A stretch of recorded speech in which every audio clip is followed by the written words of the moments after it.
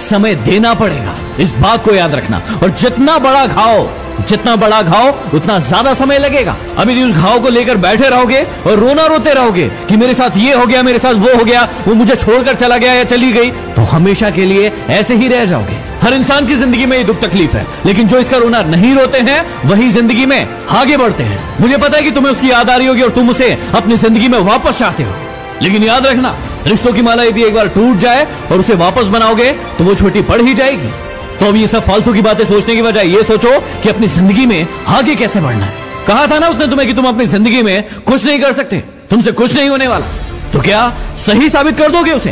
क्या सच में तुम वैसे ही हो जैसे वो तुम्हारे बारे में सोचते थे कि तुम ज़िंदगी में कुछ नहीं करके दिखा सकते? और यदि वाकई में ये सच है कि तुम में हिम्मत नहीं है तो बंद कर दो इस वीडियो को, क्योंकि सुनने से कोई मतलब नहीं है। लेकिन यदि आग है अंदर कुछ बनने की, कुछ कर दिखाने की तो इस वीडियो को तब तक देखना, तब तक देखना, जब तक कि तुम्हारा खोया हुआ सम्मान तुम खुद से वापस न ले लो।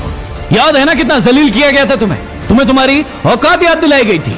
अब ये तुम्हारे ऊपर निर्भर करता है कि तुम्हें भूल जाना है वो सब, या फिर उन्हें उनकी औकात याद दिलाना है। मुझे नहीं पता कि तुम खुद का कितना सम्मान करते थे, खुद को कितनी इज़्ज़त देते थे।